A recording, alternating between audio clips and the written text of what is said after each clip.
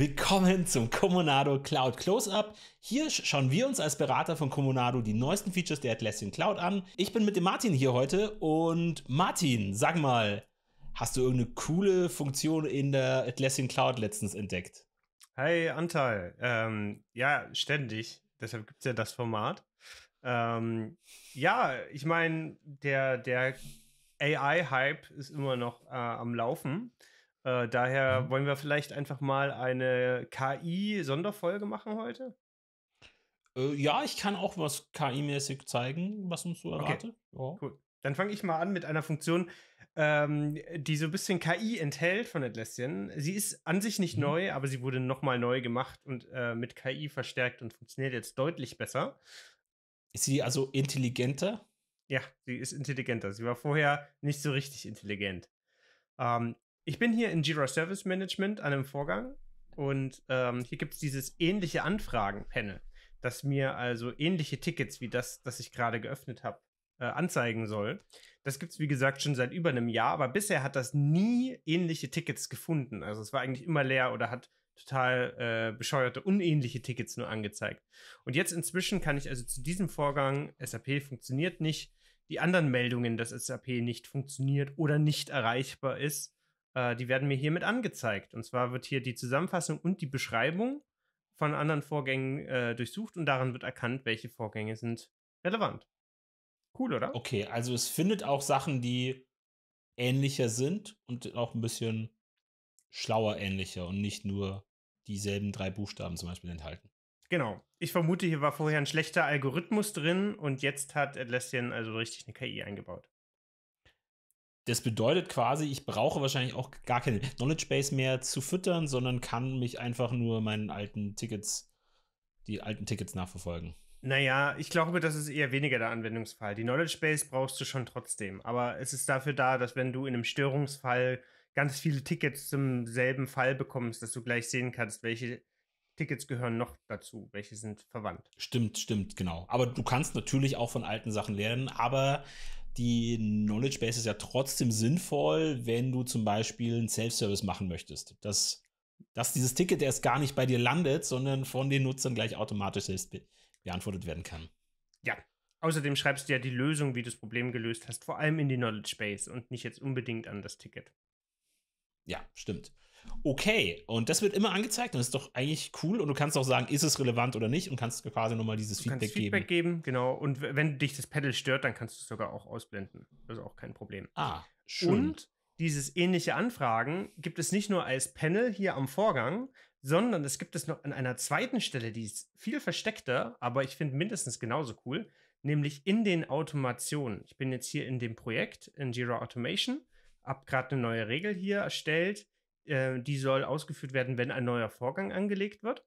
Und äh, jetzt möchte ich also erkennen, gibt es zu diesem neuen Vorgang bereits bestehende Vorgänge, die sehr ähnlich sind. Und das können wir jetzt hier machen mit diesem äh, Branch-Element, mit dem Regel-Branching, mit dem ich ja ähm, Dinge für andere Vorgänge ausführen kann. Also zum Beispiel für meine Untervorgänge oder für das Ergebnis einer JQL-Abfrage oder so. Und hier mhm. gibt es jetzt neu auch die ähnliche Vorgangsbeschreibung.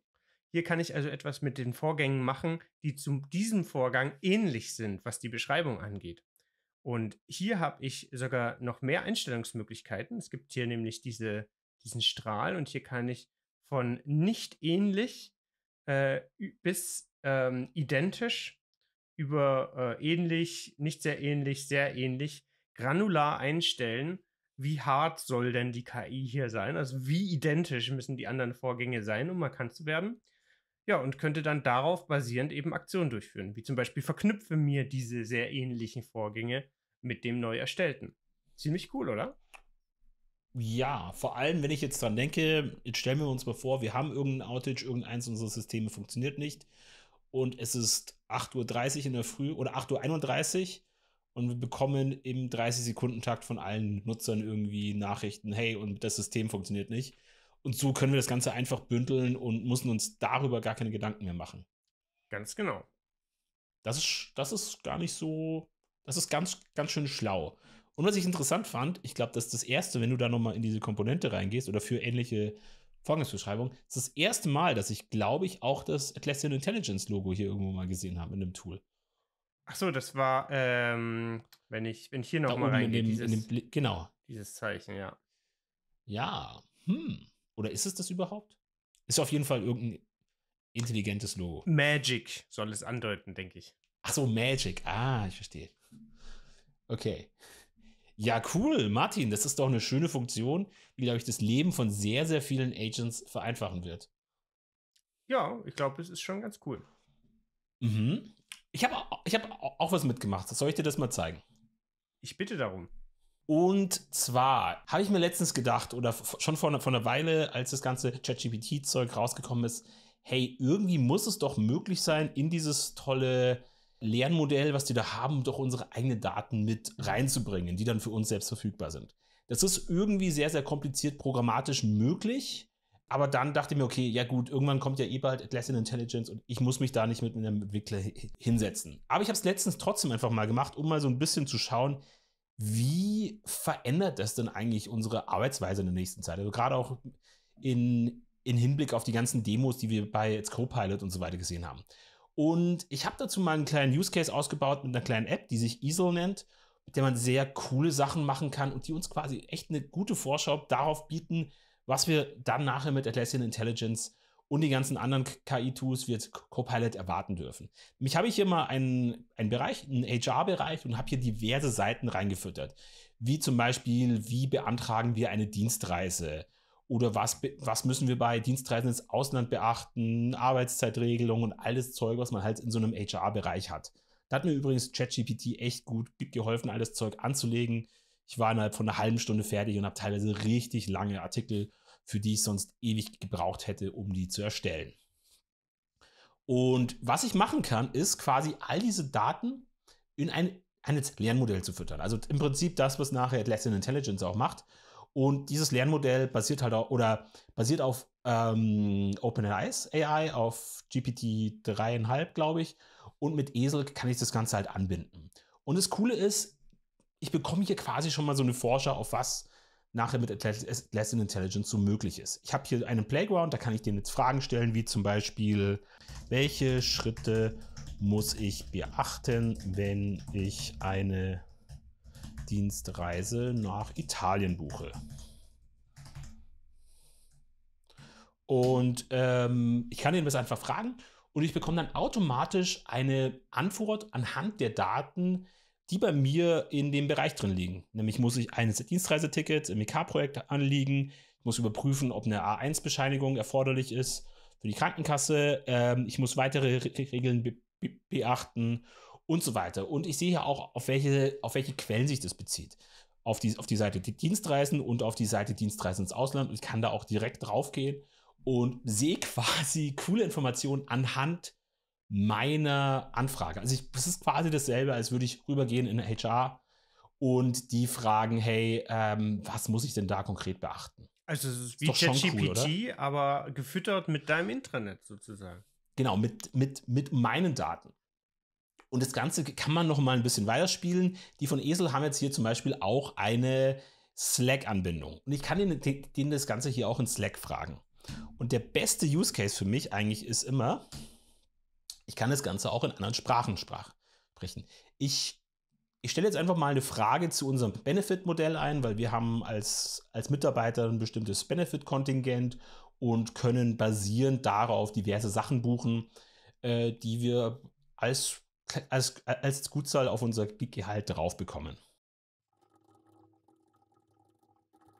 Und ähm, das Ganze wird jetzt überprüft von dem Esel. Deshalb habe ich auch direkt dieses, dieses Emoji drauf bekommen und im Hintergrund schreibt er das aus, wie wir es gerade vorhin gesehen haben und bekommt direkt eine Antwort drauf. Und hier sehe ich zum Beispiel als ein Seniorberater habe ich ein monatliches Budget von 180 Euro, das ich für verschiedenste Benefits nutzen kann.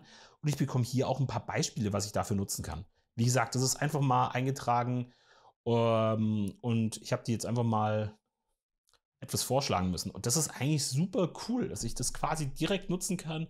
Und ich muss ich, ich kann quasi direkt mit einem äh, HR-Mitarbeiter sprechen. Das ist wirklich cool. Jetzt hast du gerade gesagt, das funktioniert auch mit mehreren Sprachen. Also kannst, kannst du mal eine Frage auf Englisch Ach so, stellen? stimmt. ich wollte es auf Englisch stellen. Äh, genau. Ähm, genau. Und ich habe jetzt mal eine englische Frage eingestellt. Und ähm, ich sollte daraufhin auch meinen Inhalt auf Englisch bekommen. Und das finde ich tatsächlich ist einer der größten Vorteile, weil wir haben zum Beispiel auch Kollegen, die in Albanien sitzen.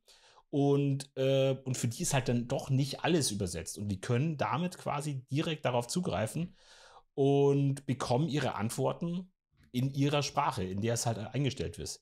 Hier zum Beispiel, was wir für Schritte äh, bei einer Dienstreise ins, nach, nach Dänemark brauchen, in Englisch. Wir können das natürlich auch auf Dänisch umstellen und das wird alles automatisch funktionieren.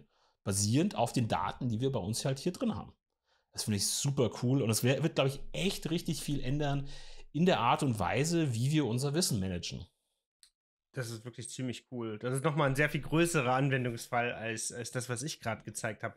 Und vor allem wird es spannend, wenn dann Atlassian diese Funktion nativ in das Produkt mit, äh, mit hinzufügt. Ja? Also aktuell ist das ja eine Erweiterung, eine Drittanbieter-Erweiterung, die du verwendest.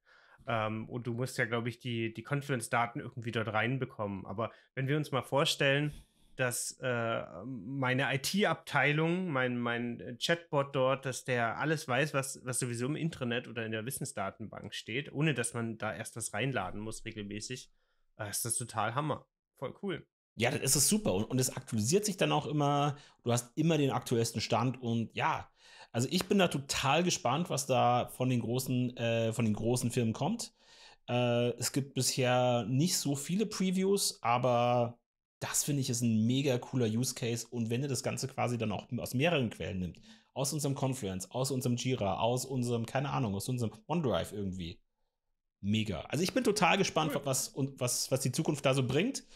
Und ich glaube, jeder von uns sollte sich damit mal befassen. Also probiert es einfach mal aus. Die App, die ich hier jetzt nutze, ist Esel. Die könnt ihr immer bei euch mal installieren. Passt auf die Daten auf. Nicht unbedingt geheime Sache, Sachen posten, aber es sollte mit jedem AI-Tool eigentlich klar sein zum aktuellen Stand.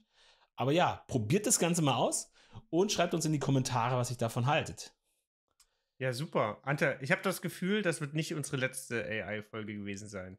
Ja, Martin, dann wünsche ich dir noch einen schönen Tag und wir sehen uns beim nächsten Comunado Cloud Talk. Bis so dann. Bis dann. Ciao. Ciao, ciao.